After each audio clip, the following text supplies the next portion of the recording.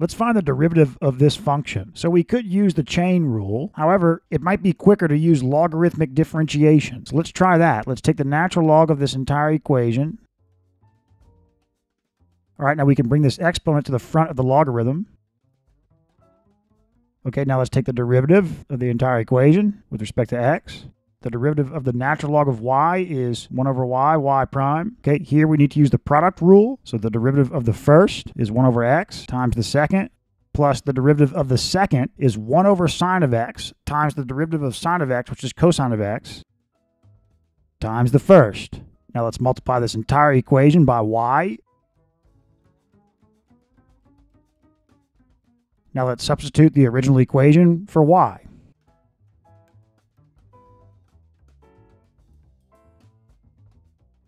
And that's the derivative.